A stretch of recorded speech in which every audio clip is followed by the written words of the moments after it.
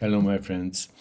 So I just uh, came across a tweet by John Horgan, who's a science writer for Scientific American and also teaches science and the philosophy of science and basically science for the general public.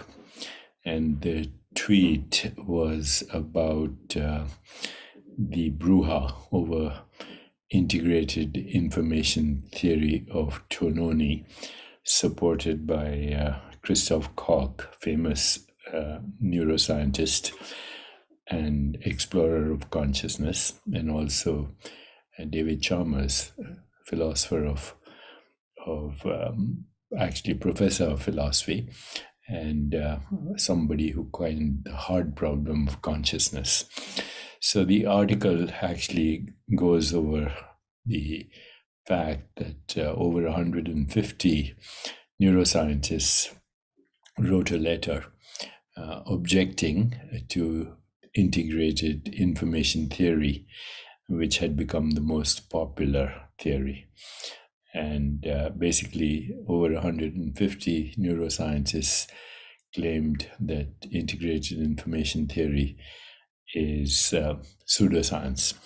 John Horgan does a good job of um, defining pseudoscience and addresses things like uh, dark energy and panpsychism and theories that have been offered thus far. Actually, I once asked uh, David Chalmers if he was uh, familiar with Indian philosophy, and at that time he said he was not. So it's very interesting that uh, the world is not fully aware that the so called hard problem of consciousness was solved by Indian seers and rishis thousands of years ago. Uh, and this, uh, this is referred to as the philosophy of Advaita which suggests that all perceived reality is consciousness fluctuating as vrittis, usually translated as thought waves. That mind and body and universe are all unified expressions of consciousness.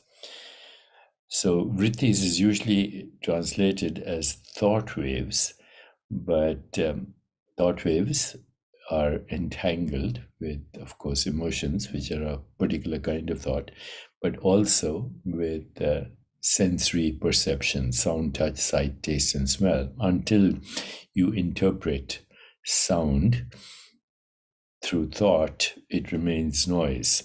But once you interpret it, then it can be music, poetry, literature, and many more things. Okay, so the vrittis are essentially all sensations, all sense perceptions, all images, all feelings, and all thoughts. This is a very profound and radical view of reality.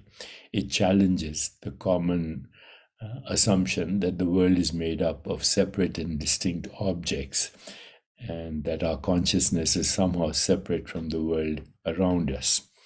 So, according to Advaita, which is the non dual philosophy of India, as expressed in the Upanishads, there is only one reality, and that is Brahman or pure consciousness. And pure consciousness is a field of infinite possibilities, it's a field of infinite correlation, it's unpredictable, it's creative, it's self regulating, it's self evolving, and uh, it's uh, without cause it has no shape, no form, um, no location in space time. It is irreducible, infinite, incomprehensible, unimaginable, but it modifies itself as sensations, images, feelings, and thoughts, which recycle and evolve as the evolving mind body universe.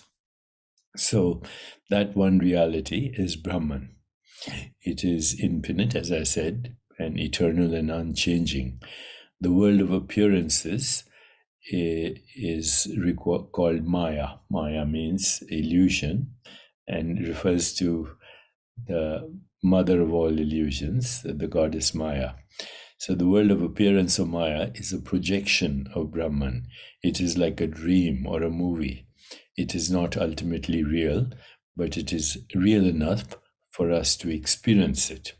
Our minds are also projections of Brahman. They are made up of vrittis or thought waves, uh, which includes feelings, imaginations, and perceptions. Vrittis are constantly changing, but they are ultimately rooted in Brahman, the ultimate reality. The body is also a projection of Brahman. It is made up of what we call matter, but matter is ultimately energy, and energy is conscious.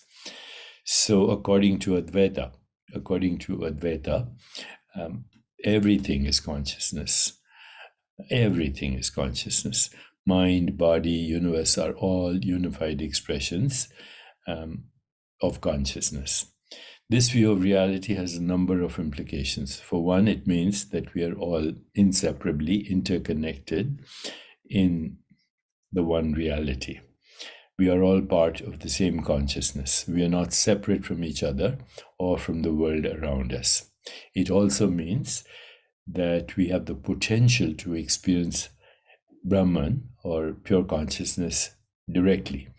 When we quiet our minds and go beyond the vrittis, we can experience our true nature. We can experience our true nature, which is Brahman or pure consciousness. And uh, the experience of Brahman is known as moksha or liberation. It is the ultimate goal of Advaita Vedanta. The Advaita view of reality is very profound and inspiring. It offers us a glimpse into the true nature of reality and our place in it. It can be difficult to understand and accept this view at first because it challenges so many of our basic assumptions about the world. But the more we contemplate it, the more we begin to see the truth in it. So, the hard problem of consciousness was solved in India thousands of years ago, while current neuroscientists and you know people like Christoph Koch are suggesting that dark matter might be um, the source of consciousness. So, any understanding of consciousness that is based on neuroscience is actually inferential. The only direct insight into consciousness is direct experience of consciousness through self awareness. Only consciousness can be conscious. And when we experience our consciousness as one with that universal consciousness, then we are holy, we are healed, and we have returned to our source, and we have freedom from existential suffering. So please understand these theories that are all being touted by modern scientists, they're all inferential. They have no direct, they give us no direct experience of consciousness. The only direct experience of consciousness is consciousness aware of itself, which is called self awareness. Now, the inferential understanding of, of course, uh, consciousness is useful because it can help in our uh, future attempts to address mental distress and neurological problems and many such um, uh, many such uh, uh, forms of suffering which can be treated by the current models which are physicalist models they however no give us no direct experience of truth or freedom or liberation or what is called moksha. So let me know your thoughts on this.